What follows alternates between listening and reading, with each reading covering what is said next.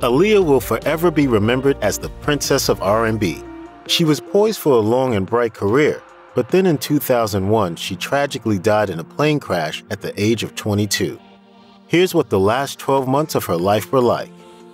Aaliyah's popularity was growing at the turn of the 20th century as she translated the momentum of her music career onto the silver screen. In 2000, she made her acting debut alongside Jet Li in the action film Romeo Must Die. She was praised for her performance, while her song from the movie Try Again earned her a Grammy nomination, won her two MTV Video Music Awards, and reached the top of the Billboard Hot 100. Transitioning into acting was something that Aaliyah had wanted for a very long time. As she revealed in an interview with CBS, since I was little, I started in singing, I did acting, I danced, I did plays. In high school, I took a bit of drama, but music was first.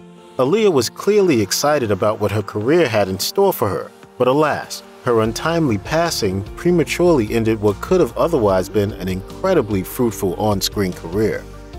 One thing that made Aaliyah stand out was her unique sense of style. To this day, her fashion prowess is an inspiration for anyone looking to channel effortless 90s style swagger. One brand that will forever be associated with her is none other than Tommy Hilfiger, which she modeled for on multiple occasions. In fact, it was during one photo shoot that she met her best friend Kidada Jones. The two of them even had plans to embark on their own fashion label. Kidada recalled to Fader in 2011. It was called Dolly Pop, Right when she passed, we were getting ready to sign our contracts for that. We were making plans for this brand that was going to be girly and cute and have Japanese inspiration. Right before Aaliyah's passing, her stylist Derek Lee was drawing influence from her Jamaican heritage and finding ways to incorporate it into her music, which they did so while filming the music video for Rock the Boat. In 2016, Lee reminisced to Vibe she was down for whatever, and plus being on an island, you had lots of opportunities to go in with this Jamaican stuff. After getting a taste of the silver screen with Romeo Must Die, Aaliyah didn't wait very long for her next big screen project. She snagged the title role of Queen Akasha in the vampire flick Queen of the Damned, which she began filming in late 2000 and spent five months in Australia for the shoot. So you were down in Australia for some time, right? Yeah, yeah. All right. How'd you enjoy it? I loved it. It was beautiful. The people were beautiful. While talking about the movie with MTV, Aaliyah shared, It's a really cool film. It's fun, it's scary. I'm the queen mother of all the vampires, the original bad girl. It was a fun part to play. When Aaliyah passed away in August 2001, Warner Brothers, the studio behind the film, found itself in a bit of a bind. The release date was delayed multiple times. As producer Jorge Saralegui noted at the time, what could we do with the marketing campaign? Nothing but go forward and hope for the best. Is it ghoulish? It can certainly be seen that way. It's certainly tragic and weird and upsetting to some people. The main thing was that her family was comfortable with it. Ultimately, the team behind Queen of the Damned pushed forward as the film was finally released into theaters on February 22, 2002.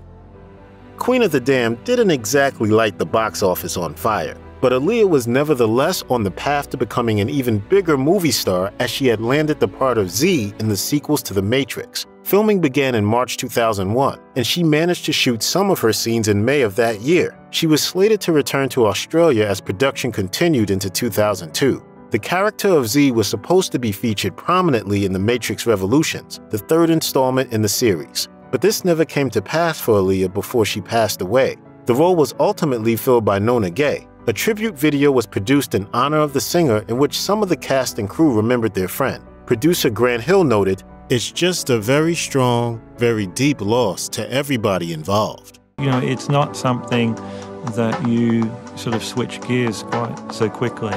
Hill also noted that he believed it took a long time for the Wachowskis, who directed the films, to absorb what had happened.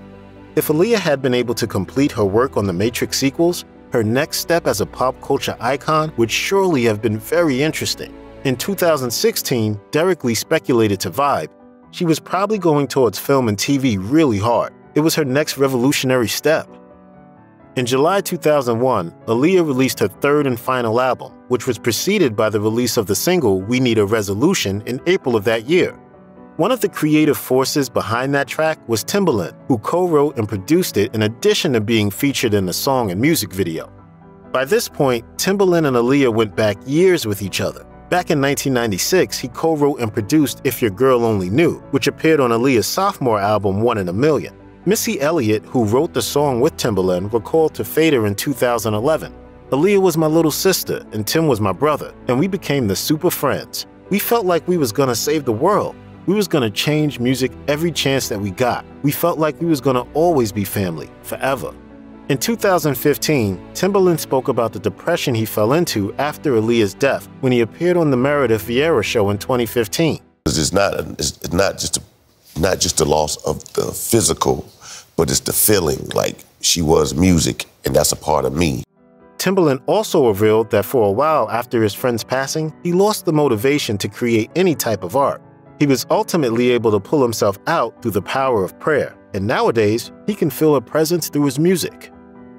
Weeks before her death, Aaliyah was spending time with her boyfriend Damon Dash, the co founder of Roc-A-Fella Records. This meant that she was also hanging out with Jay Z, one of the other founders of that label. The three of them spent the warm summer months at the East Hampton, New York house that Jay Z shared with Dash. It was actually Jay Z who brought Aaliyah and Dash together, although it's possible that the rapper also had feelings for the singer. In 2015, Dash told Hip Hop Motivation, I was going at her, but Jay was going at her. Aaliyah was the type of girl that would give you a shot.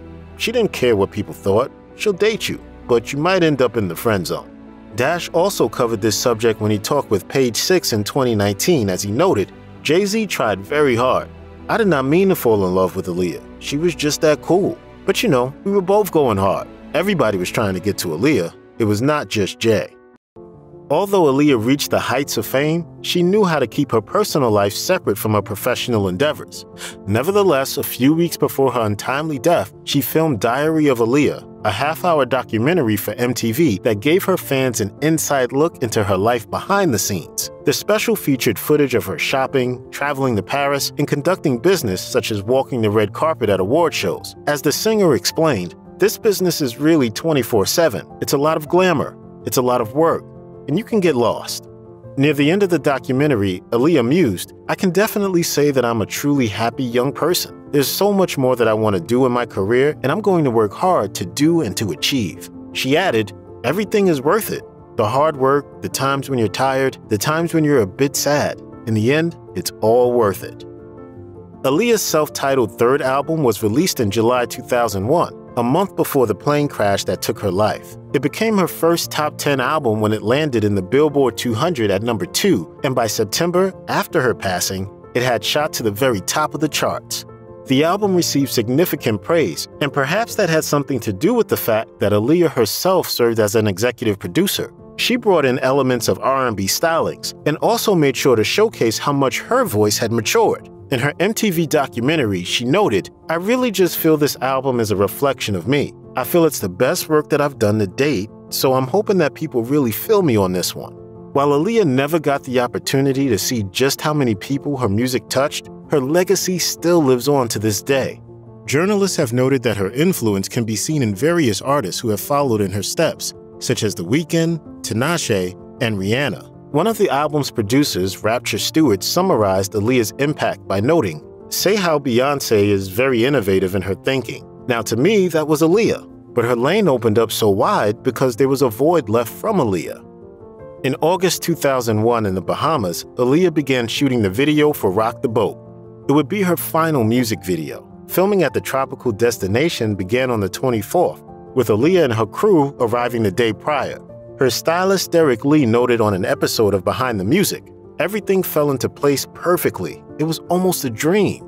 The crew woke up fresh on the morning of the 25th with production ahead of schedule by 4 p.m. They decided to wrap everything up a day early, with Aaliyah wanting to head back to reunite with her family and boyfriend. The finished video would ultimately end up being a beautiful send-off for the princess of R&B. Rock the Boat producer Kevin Taylor described the video to NME as, quote, very ethereal and heavenly.